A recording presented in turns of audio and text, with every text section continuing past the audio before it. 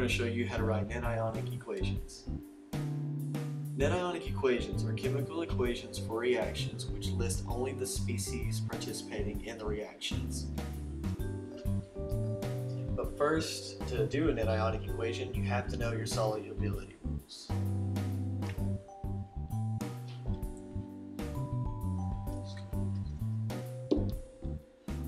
First solubility rule that all strong acids are electrolytes. Strong acids consist of HNO3, HCl, HBr, HI, H2SO4, and HClO4.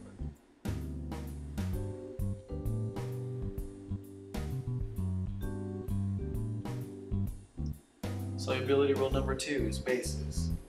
All strong bases are electrolytes.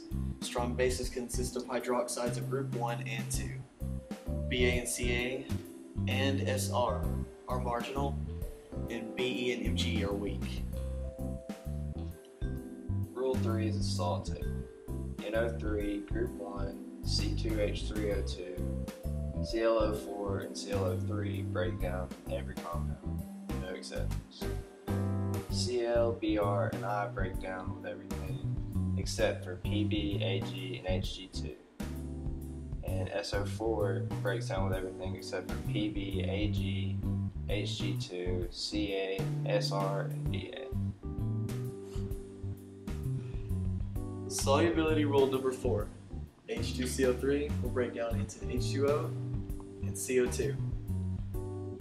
NH4OH will break down into H2O and NH3.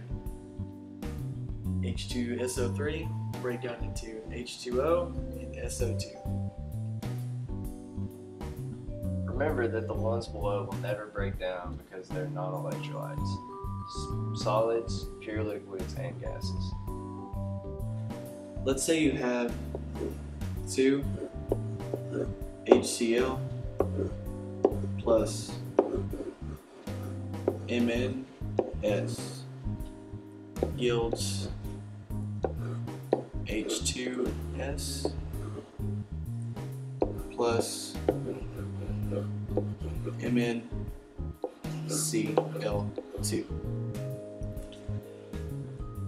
HCl breaks down because it is a strong acid, breaks down into two hydronium ions and two chlorine ions. MnS does not break down. H2S does not break down. And Mn Cl2 does break down because chlorine breaks down with anything besides Pb, Ag, and Hg plus H, Hg2 plus 2.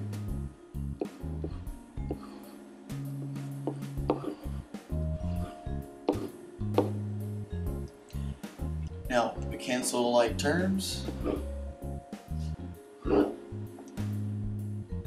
bring down all the ones that were not canceled.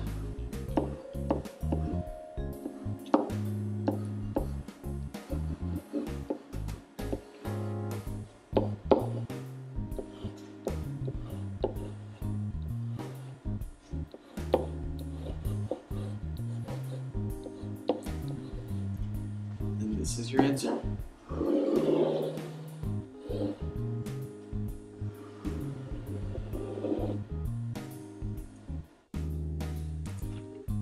I'm going to show you an example of single displacement. Let's say your problem is Zn plus CuSO4 yields ZnSO4 plus Cu. CuSO4 will break down into Cu plus 2 plus SO4 minus 2, and ZnSO4 will break down into Zn plus 2 plus SO4 minus 2. The elements Zn and Cu are left alone. Now cancel the elements or compounds that are the same on both sides. Finally, rewrite the equation with the elements and compounds that have not been canceled. And this is your answer.